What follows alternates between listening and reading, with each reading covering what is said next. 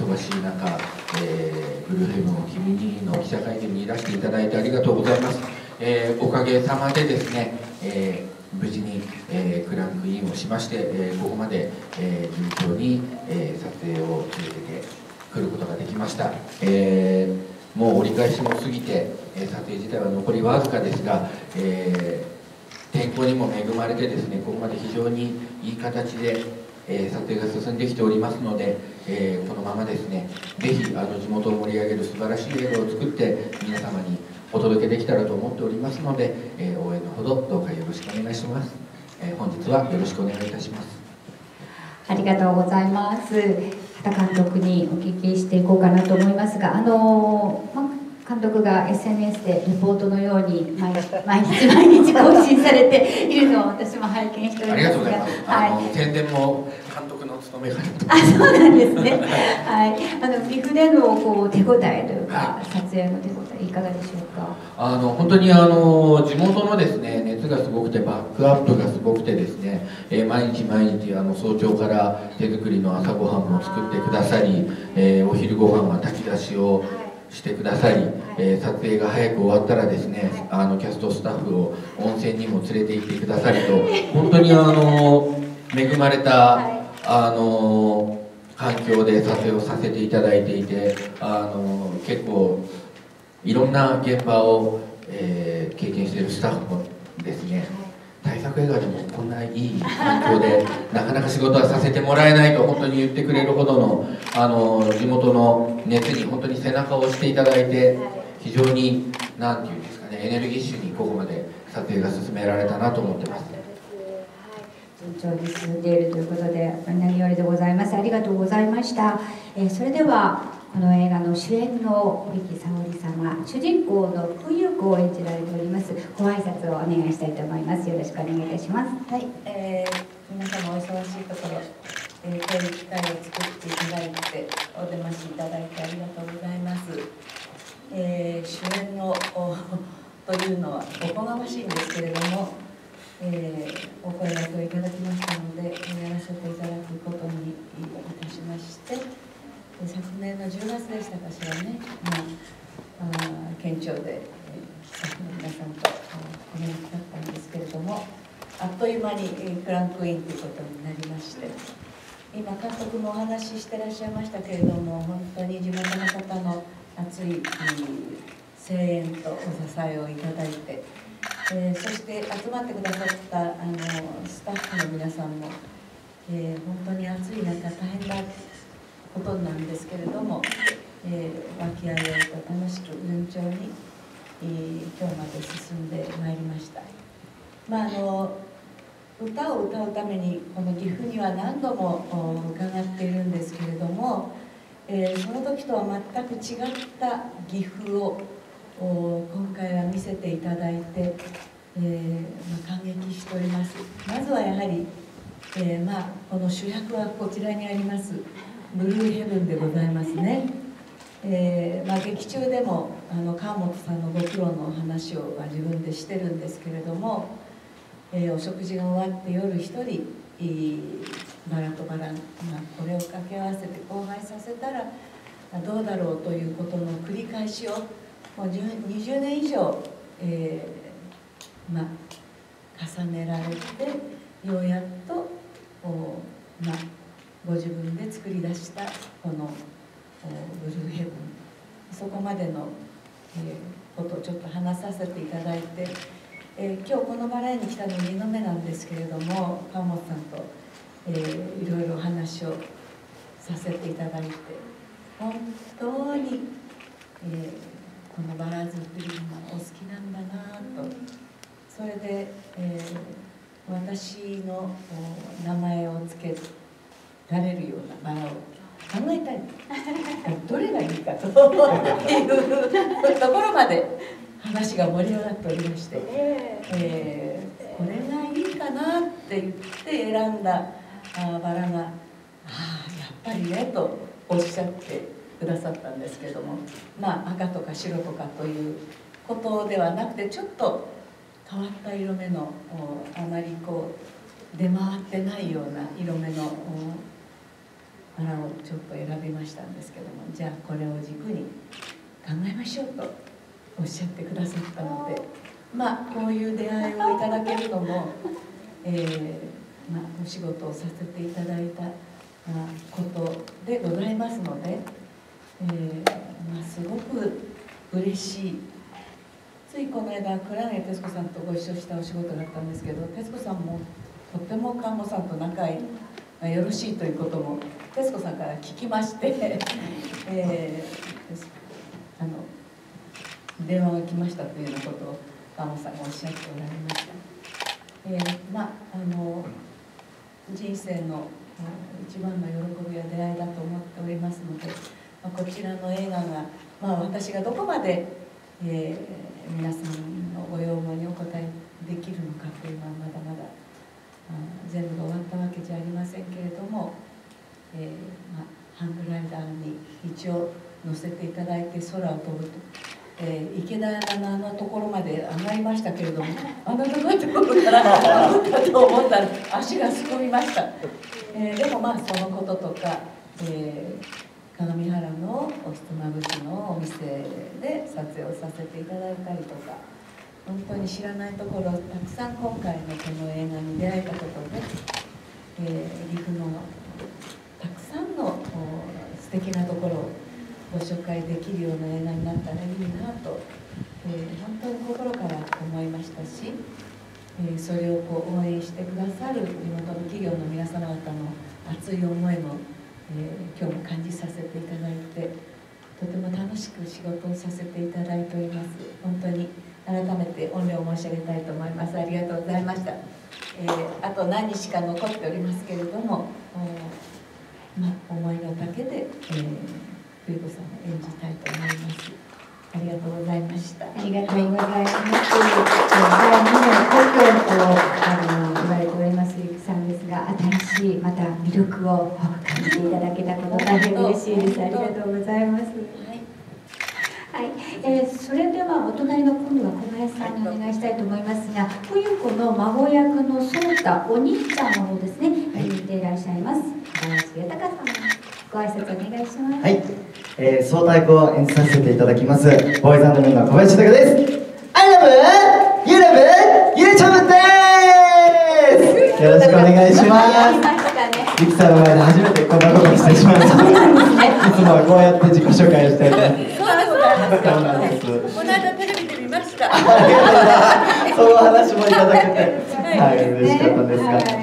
あの今回の作品はあのゆきさんの50周年のはいえー、作品でもありますしあと僕たちボーイズメンとしてはあの東海3県を中心に活動しているグループなのでやっぱりこの僕たちにしかできないことがやっぱりこの作品の中ではあるんじゃないかなと思ってすごくあの気持ちを込めて、えー、まあ、お芝居だけじゃなく、まあ、岐阜創生ということも考えながら、えー、演じさせていただいております、え、まだまだあの岐阜のことでも知らないことはたくさんなんですけども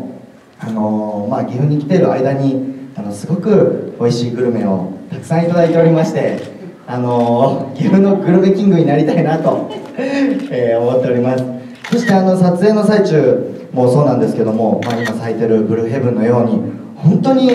岐阜にいるとあの空気が澄んでいたりだとか景色が綺麗だったりお花が綺麗だったりとか僕たちが感じてることっていうのがやっぱフィルムに、えー、そうやって映ってくると思うので、えー、その素敵な景色も、えー、皆さんに見ていただいて映画とともにこう心が癒されるような、えそんな作品を作れたらなと思っております、えあと半分ぐらいですかね、まあ、後半戦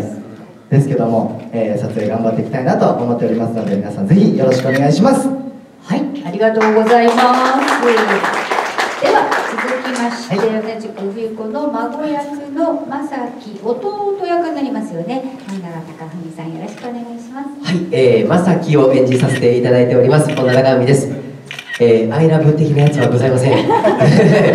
みません、ちょっと若干あの、やらないのかみたいな空気は感じたんですけど、あのうちのグループ10人いて唯一彼だけがそういった、えー、ことをやっておりますので、えー、すいません。えー、本田中美です、えー。本日はお集まりいただきましてどうもありがとうございます。えー、撮影が非常に順調に進んでおりまして、えー、畑監督のですね、ツイッターで毎日、えー、今日は2時間巻いてます、今日は3時間巻いてますという、えー、報告を、えー、ご覧になっていただいている方もいらっしゃると思うんですけれども、えー、それだけ、えー、やっぱチームワークといいますか、えー、現場の雰囲気も良くてですね、えー、ゆきさんが核となっていただきまして、えー、作品が着々と出来上がっていっている状況です。えー、もうすぐ終わってしまうので、えー、そういう意味では寂しいんですけれども、えーまあ、見ていただいた方にですねそれぞれやっぱりあの皆さんいいことも嫌なこともありながら、えまあ、人生歩んでらっしゃる当然そうだと思うんですけれどあのそんな、え、生きていくということに対して素敵な追い風が吹くような、え、作品になりそうだなということでとっても楽しみにしております、えー、世界初の青いバラであるブルーヘブンとあとは岐阜の青空とこれあの本当に天気に恵まれる日がほとんどだったので青空も本当に良かったですし、えーまあ、日によっては揖斐川の青、えー、とにかく青が映える、え、作品で映像的にもとっても綺麗だと思うので、え、楽しみにしておいていただきたいなと思います、え、僕のネクタイも青になっておりますので皆さん、えー、取っておいていただいていいですか？えー、ぜひあの皆さんの完成まで引き続き頑張っていきたいなと思いますので、えー、どうぞ応援よろしくお願いします、はいありがとうございますさて続きまして美しすぎる整備士役夏目役ということでなんとですねこのヒロイン今日初お披露目となりました柳ゆりなさんです。どうぞ皆様はじめまして柳ゆりなです、えー、鈴木夏目という役を演じさせていただきますえー、っと美人すぎることはちょっとないんですけど、えー、先ほどあのゆきさんとの2人のシーンだったりを終えたばかりなんですけど本当にあのゆきさんの持つパワーと主人公冬子の強さとしなやかさとエネルギッシュな部分が相まって何と言いますか役としてはもちろんなんですけど私自身としてもぐっと引き込まれる瞬間がたくさんあって本当にはいこの夏目という役はえー、冬子さんに憧れて職人になる役なのでその気持ちがすごく共感できましたしすんなりと入り込めてゆきさんのおかげで本当にありがとうございました。もう本当にあの岐阜の人々の素晴らしさというものに触れてすごく感動しておりましてもう食事も美味しいですし景色も綺麗だしこう土地全体が持つパワーといいますかまあ、幸せな力がすごく感じてそれをスタッフキャスト一同こう背中を押してもらうような気持ちでうんなんかもう現場に行くと元気になれるパワースポットのような そんな撮影現場で本当に楽しく前向きな気持ちでこの作品にみんなで向き合っております、はい、もうこの映画はだからきっと人を元気にできるエネルギー補給映画になるんじゃないかと。私は勝手に元気になるあの映画をエネルギー補給映画って呼んでるんですけど絶対これは最高のエネルギー補給映画になると私は予感しております。ぜひ完成を楽しみに待っていてください。ありがとうございました。ありがとうございます。ちなみにもう一年の二人との共演はいかがでしたか、はい、あもうとてもとてもあの紳士で優しくて。すごいもう早速いじられてますね それは。そういつもねサンバカとか言いながら仲良くさせていただいて本当にこことのコミュニケーションがよく取れていたのですごくアドリブでもきついことを言ったりとかしていつももう叩いたり申し訳ないんですけどでも楽しく撮影させていただいております。皆さんのおかげで本当にありがとうございます。甘えさせていただいておりますはいどうもありがとうございました、えー、ではまた畑監督の方にマイクの方をお回しいただければと思いますがあのとてもいい雰囲気で撮影が進んでいるということもうキャストの皆さんからも分かりますけれどもね、えー、一番こうあのこの映画の中で、え、力を入れているこうポイントテーマっていうのは？そうですね。あの、まあ、今回本当にあの主演がゆきさおりさんということであのゆきさんと共演できるならということでですね実はまだあのここにはいないですけれどあの非常に、えー、力ある素晴らしいあのキャストが集結してくれたのであの本当にあのその役者さんたちがこう現場で、えー、生み出すこうハーモニーというかコラボレーションというか、えー、そういったものを、えー、大事に、え丁寧にこう撮影していけたらなと思っております。でその出演の皆様が本当にあのみんなこの岐阜の土地を愛してくれているのでこれはもう本当にお世辞でもなくみんながこう素晴らしいと言って岐阜の滞在の日にちが一日また一日と伸びるたびにですねあのみんなの表情が明るくなっていくんですね。なんでそういうこう岐阜とのあのハーモニーも役者と同士のハーモニーもそういうのもこう丁寧に、えー、映した映画にしたいというふうに、もうそれだけを考えて毎日撮ってます。もうまさに地方創生岐阜ムービーですね。本当にそうですね。はい。ですね。12月にあの制作発表をさせていただいた時にあのゆきさんと初対面でしたよね。確か。制作発表の場所が初対面だったと思うんですけれども、はい、ご一緒されて今更ですけれどもあの印象はというのもなんか変なんですがあの、はい、まあ、実際にあのご挨拶をしたのは12月が初めてだったんですが、えー、私があの本当に小学生の頃からあのテレビであの見ていましていろんな作品をあの拝見して歌も聴いてあの素晴らしい歌手であると同時に本当にあの天才的なあのコメディエンヌあの女優さんだと思っていましてこのお話を書いた時に、まあ、さっき柳さんも言ってましたけれどあのみんなに元気見ていただいた方全員に元気になってもらって明日への希望を持っていただくそういう映画にのやっぱり肝はやっぱり主演女優の方のこう花でありオーラであると思っていたので最初からですねどうしてもあのゆきさんにダメかもしれないしダメな確率の方が高いのは分かっているんだけどどうしてもアプローチしたいということであのお声がけをさせていただいてですね本当に奇跡的にあのじゃあ出ても良いというあの返事をいただいてもうその時のあの飛び上がって喜んだ感じは今でもよく覚えてるんですが あの実際に一緒にあの現場に入るとですねあのこちら側のリクエストも快く聞いていただきながらでも必ずそこにあのご自身のアイデアを付け加えてちゃんとこう自分のカラーにして僕のお願いの2倍も3倍もいいものを返してこられる。その引き出しの多さというか懐の深さというかそしてあの現場の空気もですねあの厳しくもしすぎずかといってあのだらけてもしまわないように本当にあの座長としてですねあの非常にいい空気を保っていただいてあのプロフェッショナルっていうのは本当にこういうことなんだなっていうのがこう日々勉強させていただいて、まあ監督まあ、勉強させていただいてるって監督が言っていいのかっていうのもあるんですけどもう本当にあの正直な気持ちそういう形であのこうしてですねあの本当にあの真のあのプロフェッショナルな女優さんと今回ご一緒できたことが毎日幸せです。はい、ありがとうございます。小林さんが何かご質問がしたいというどうしても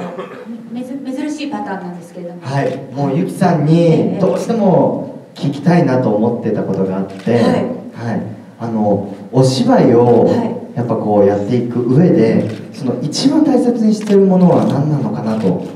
思いまして。やっぱり僕たちももう駆け出しですけどもやってる身なのでなんかこう今後のためにと言いますか聞いておきたいなと思っております。よろしいでしょうか？恥ずかしいわ。何を言ってるの？えー、そうですね。まあうん。まあ今回自分の実年齢に非常に近いお役をやらせていただいて自分のセリフの中で「おばあちゃんです」って言ってるのは初めてのことなんですけれどもあの記者会見の時に看護師さんに、まあそこに行ってくださいますがお目にかかった時にああこんなふうにこう努力して、えー、でもすごく誠実で可愛らしいお方だなって。でその時にお花をいただいてあの東京に戻りましたんですけれどもこのブルーヘブンが本当にすごく私を何だろう一週間以上うちにちゃんと花をつけて咲いていてくれたんですねでそこから何でしょう、うん、まああのこの映画を見てこのドレスを着てる私を想像しないで、えー、いてくださるようなことになったらいいなというのがまず一つありまして、えー、衣装合わせをしたりそれから、まあ、この役に入る時に髪をここまで黒くしたのも本当に何十年ぶりだったので鏡見ても私かしらって時々思うくらいに、まあ、自分の中では新しい発見がいっぱいあってですね。そういう時間を経て、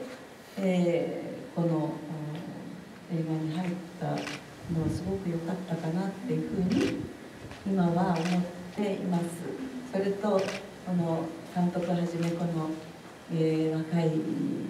方たちがとてもあのはつらつと楽しく仕事をしてくれていますし彼はすごくこのムードメーカーでね雰囲気がパッと、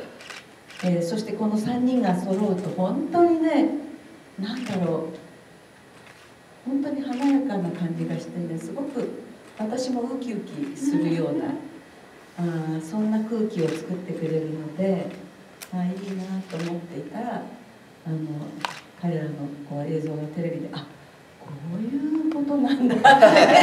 思ってねそれもお話をさせていただきながらあのすごく楽しい毎日でございます。だから自分でこう少しずつイメージをこう作っていく時間があのすごく大事かなって私は